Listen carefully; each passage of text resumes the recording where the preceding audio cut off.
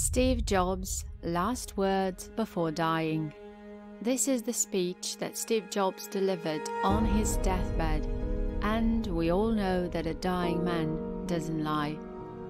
According to a viral story, Steve Jobs' final comments were about his admiration for his family, not a critique of wealth.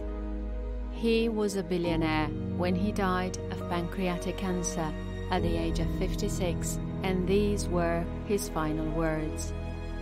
I reached the pinnacle of success in the business world.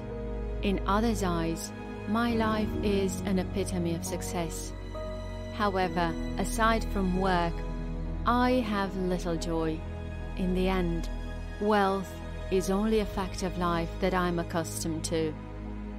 At this moment, lying on a sick bed and recalling my whole life, I realized that all the recognition and wealth that I took so much pride in have paled and become meaningless in the face of impending death.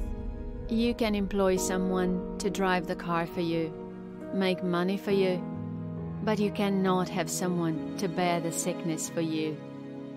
Material things lost can be found, but there is one thing that can never be found when it is lost. Life.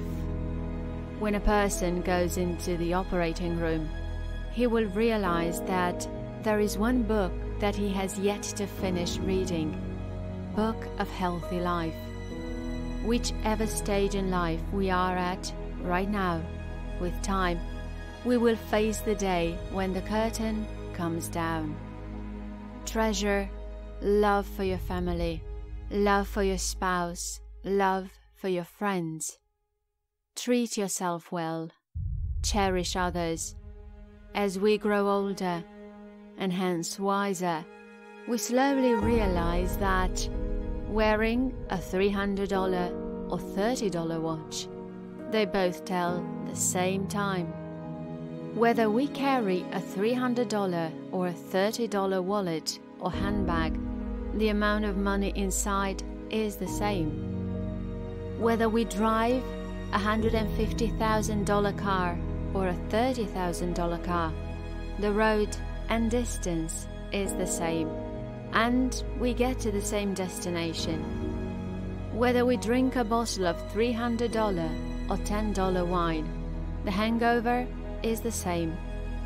Whether the house we live in is 300 or 3,000 square feet, loneliness is the same.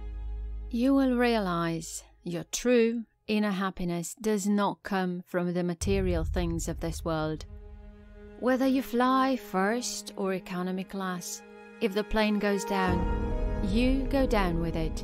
Therefore, I hope you realize when you have mates, buddies, and old friends, brothers and sisters, who you chat with, laugh with, talk with, have sing songs with, talk about north, south, east, west, or heaven and earth. That is true happiness. Five undeniable facts of life. 1. Don't educate your children to be rich.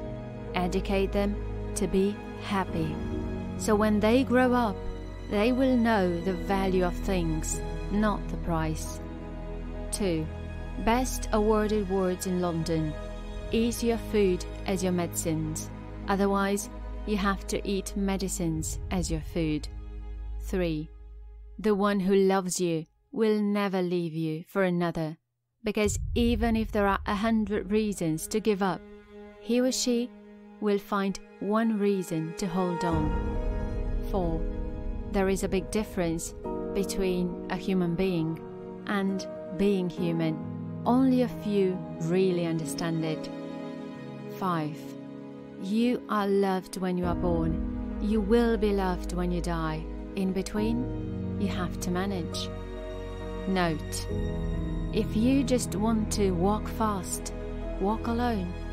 But if you want to walk far, walk together. Six best doctors in the world 1. Sunlight. 2. Rest. 3. Exercise. 4 diet. 5. self confidence, and 6. Friends. Maintain them in all stages of life and enjoy a healthy life. Conclusion Steve Jobs' final words are nothing but remarkable. It is true that money cannot buy happiness. The wealth comes from within yourself, from how happy you are.